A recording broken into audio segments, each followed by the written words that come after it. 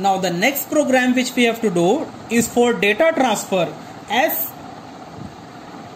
what I will do is again I will click on Keil Microvision for software.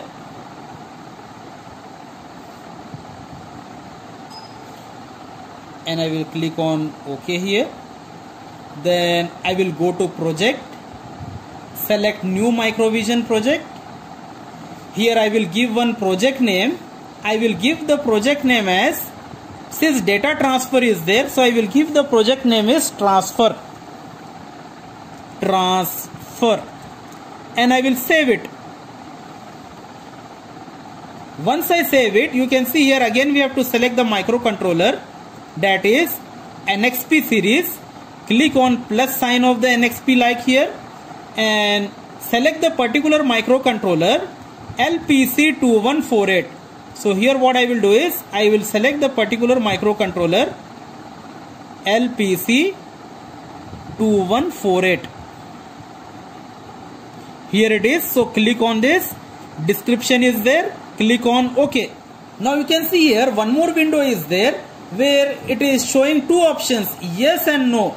Since we are performing non-interfacing program so I will go ahead with no option. Click on no now you can see here target is being created.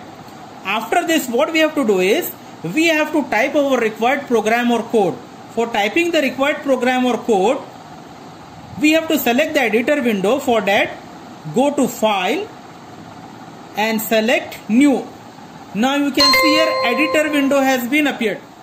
Before typing the code, what we have to do is important thing always we have to give one tab space. So I will press the tab key. After typing the code we have to save it. Click on save icon here. So earlier project name I have given as transfer.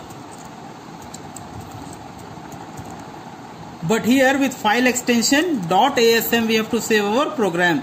Click on save after saving you can see here color has been changed color highlighting you can see here of different data has been changed then what we have to do is right click on target source group is there.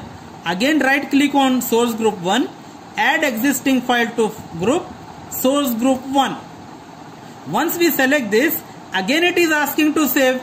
So what is our uh, program name which we have saved? Transfer.asm select here. Then you have to press add and close simultaneously. First add and then close after this select build target option target files option from the menu bar or else simply right click on source group 1 you can see here build target is there. Click on it. Once you click here you can see here in the build output window it is clearly showing zero error zero warning. It means our program is error free now for getting the output, what we have to do is click on debug option, start stop debug session. Then click OK here for evaluation mode.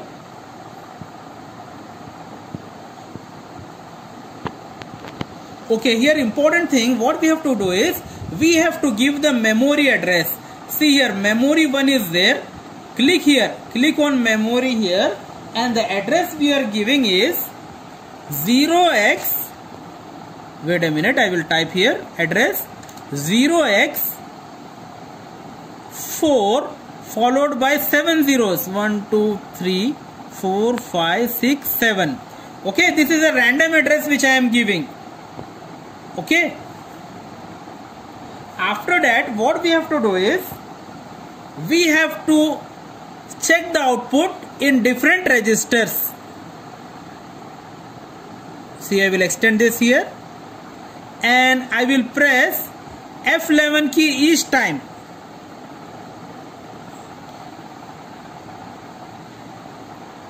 here you can see here changes in registers is also there as well as changes here is being shown in the memory address changes is also being shown again I will press F eleven again you see here the data which we have taken here DCD defined constant data it is appearing in register R two again I will press F eleven key likewise see the value in register R4 is shown. Whatever the memory address which we have taken no? 0x444 that is being shown. Okay? So here also you can see the changes in the address also. Okay? I hope this program is clear for you all students